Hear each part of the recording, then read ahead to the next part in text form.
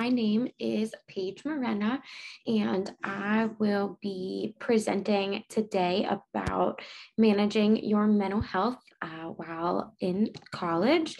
So let me go ahead and get my presentation pulled up here, and we can go ahead um, and get started. Let me make sure and share my screen. See. Here we go. Okay. So again, um, as I, it's loading here, uh, my name is Paige Marenah, and I am a licensed clinical social worker as well as a licensed clinical addiction specialist. And I have been working in the mental health field for the last seven years now, and I have experience working with uh, children on the autism spectrum, with individuals who have substance abuse concerns, as well as working with uh, adults and children um, with a wide variety of mental health concerns. Um, so, we'll be talking about managing your mental health in college. And to get started, I just wanted to share some statistics regarding um, college students and mental health. It's very surprising uh, the numbers that I was able to find when I was was looking up some statistics. And so these statistics are coming from the National Alliance on Mental Illness. And so to start off, it talking about 75% of lifetime cases of mental health conditions begin by age 24. So, this is meaning um, basically 75% of mental health um, diagnosis typically start in individuals um, by the age of 24. Um, one in four young adults, 18 to 24, have a diagnosable mental illness. And so this is prevalent for college students because most college students kind of fall in that young adult range of 18 to 24. And more than 25% of college students have been diagnosed or treated by a professional for a mental health condition in the past year.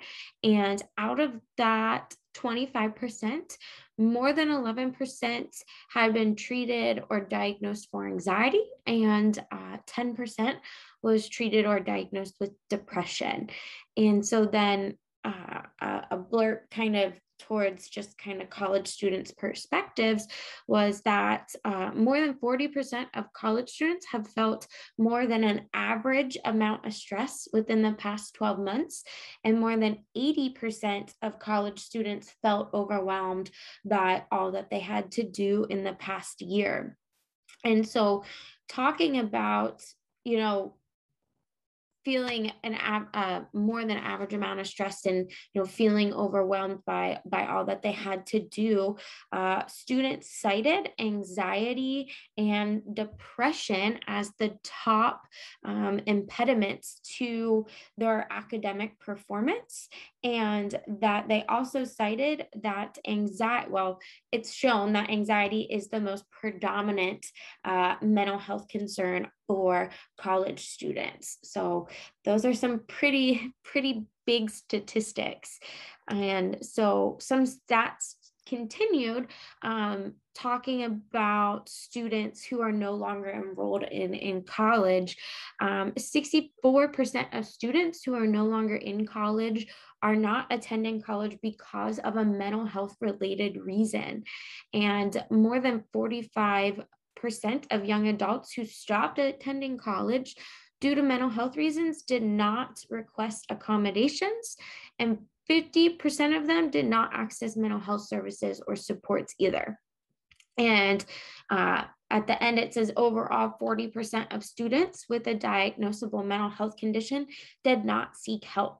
So, really, what these statistics are stating is that um, more than half of college students who are no longer enrolled in college, um, what it was due to a mental health reason, and of those, um, of that percentage, close to half of those students with mental health concerns did not access uh, mental health resources at, at all. So uh, that's even, you know, a bigger statistic, you know, showing that a lot of students um, drop out of school due to mental health reasons.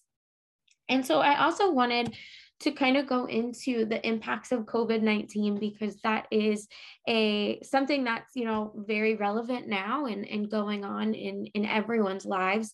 And so Active Minds uh, surveyed 2,086 college students regarding the impact of COVID on their mental health in April of 2020. And one in five students say their mental health was significantly worsened since COVID. And uh, 80% reported that COVID negatively impacted their mental health. 76% uh, have trouble maintaining a routine. 73% struggle with getting enough physical activity. 63% find it difficult to stay connected with others. 85% say focusing on schoolwork despite distractions has been the most difficult thing, and 55% of students say they would not know where to go for mental health support or resources. Uh, so, what's what's pretty big about these statistics for me is that a lot of these things, you know, trouble maintaining a routine, getting physical activity, staying connected with others, uh, those are actually coping skills and things that you know as a mental health profession i encourage people to do you know to help manage their mental health symptoms so to show you know that these statistics are showing that people are, are struggling with those things you know is is quite a big deal and so another part of this survey students stated the most common ways COVID has affected their lives. And the top uh, 91% said anxiety, um, 81% stated disappointment and sadness, and another 80% uh, stated loneliness or isolation. And so, all of those too, as well, can contribute to anxiety and depression um, and other mental health concerns um, among students.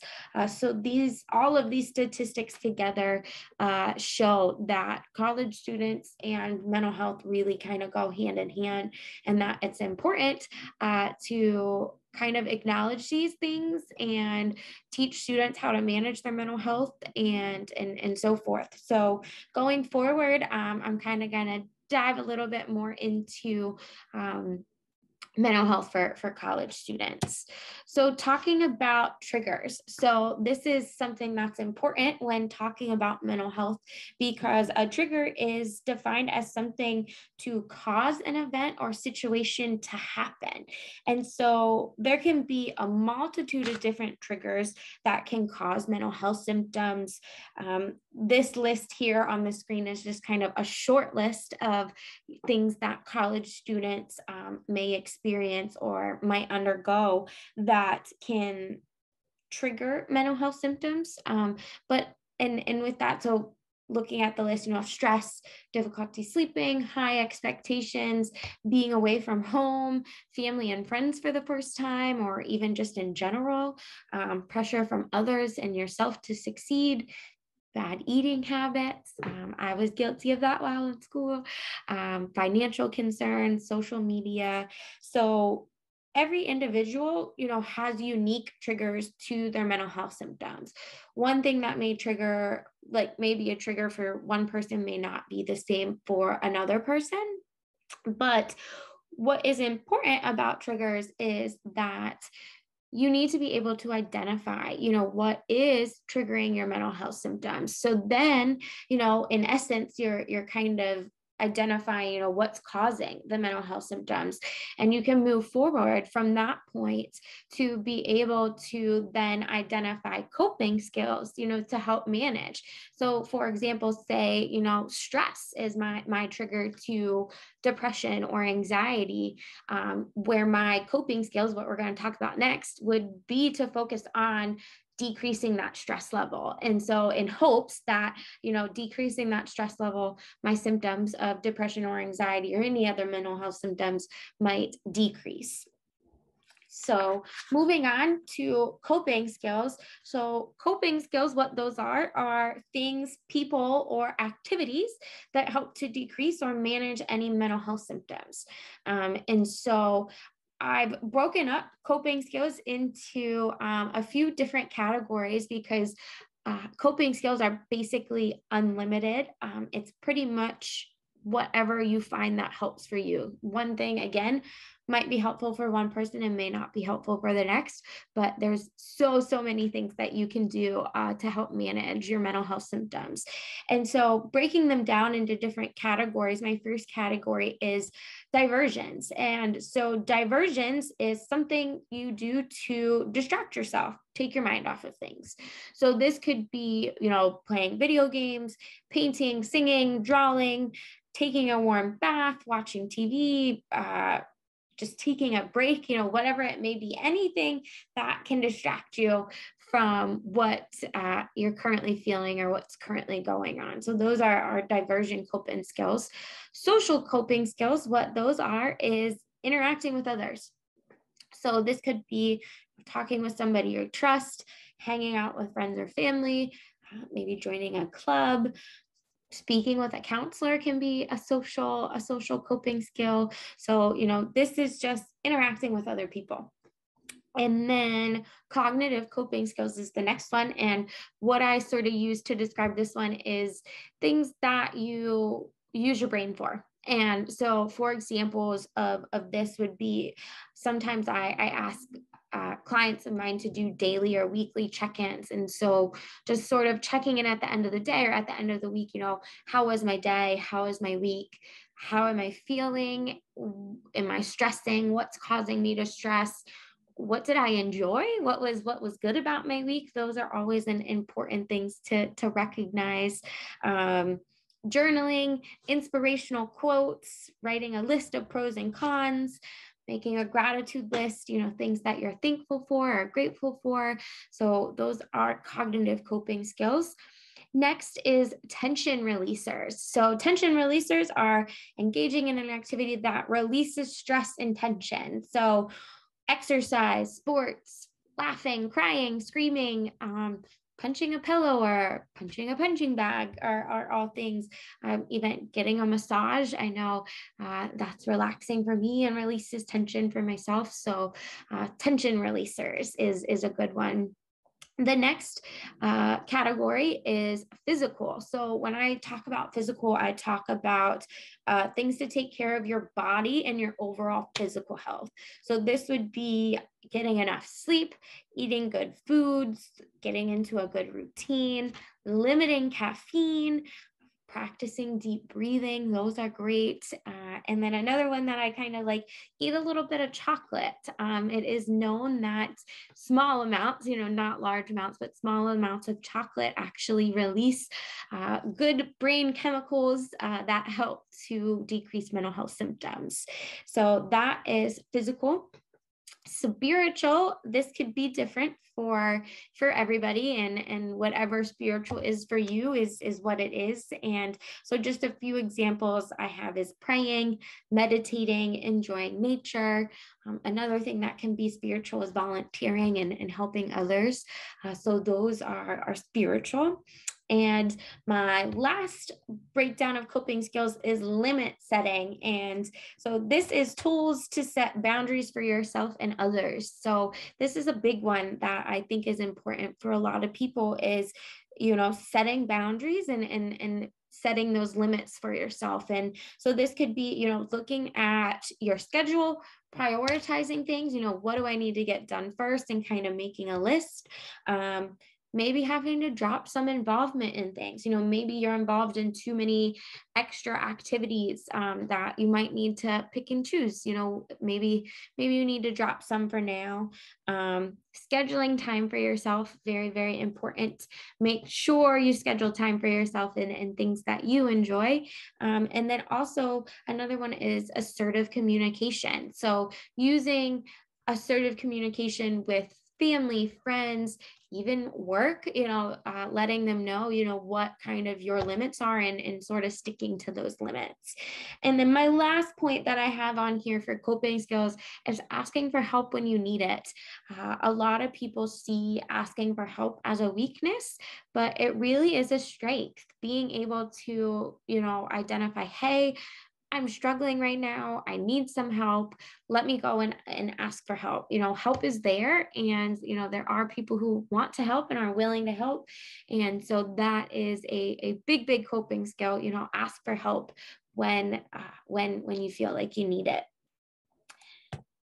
and so lastly you know i want to talk about resources. And so i have on-campus resources and off-campus resources um, because again as mentioned earlier 50% of students weren't reaching out for help or, or, didn't know where help was. So I want to make sure that you guys know uh, what kind of resources are out there for you. And so on campus resources is Life Matters. And so I have a I have their poster on the next slide that kind of goes a little bit more in detail, but uh, this is something that is offered 24 7, 365 days a year.